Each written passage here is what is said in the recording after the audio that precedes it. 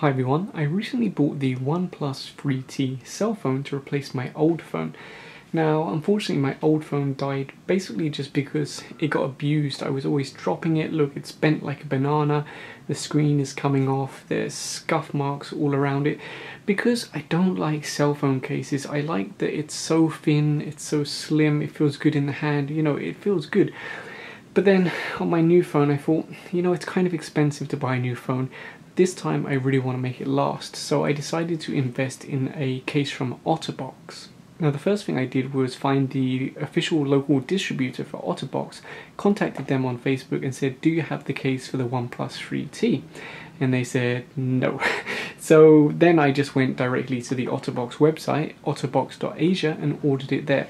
So the case itself is 25 US dollars and then the delivery by FedEx was $10 and I ordered this three days ago and it arrived today. So that's actually pretty quick but you are paying $10 for the shipping. So you can see this is an Otterbox case. Now the nice thing about ordering it through their website is you know you're getting the real deal. Maybe I could find this somewhere at the mall but how would I know if it's a legitimate one especially if they're not the official distributor for Otterbox here in the Philippines? So yeah I'm okay with ordering online. Yes it cost me $10 shipping but at least I I know it's the real deal. So let's take a look at what you actually get. So it's a two-part case. You've got this one here, which is a synthetic rubber. That goes on the phone first, so let me just slip that in. And then you've got this piece, which is like a hard shell, and this is polycarbonate, so pretty tough. And we just slide our phone in here and there you go it's now done. And one of the biggest things I was worried about is if this was going to be bulky because like I said that's why I never use a case on any of my old phones because I hate bulky phones. And I have to say I'm impressed. Yes it makes it a tiny bit bulkier but like I barely notice it. So I'm happy with the case.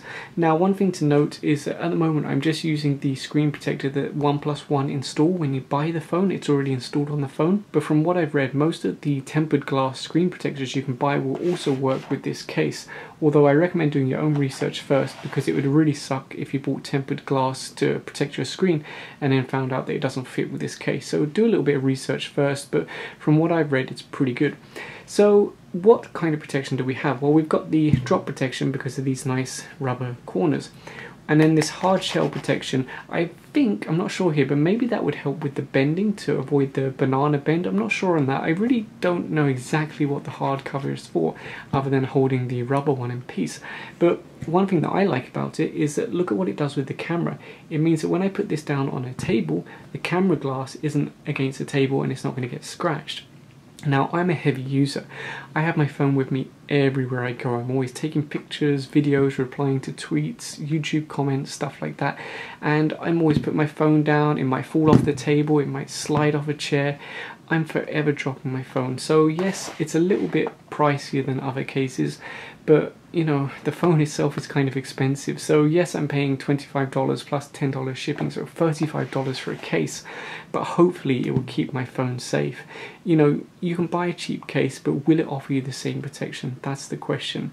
So yeah, just a quick video, but I'm quite happy with my online experience with Otterbox. If you have any questions or suggestions, put them in the comment section down below. And if you enjoyed this video, please give it a thumbs up and subscribe. Thanks for watching.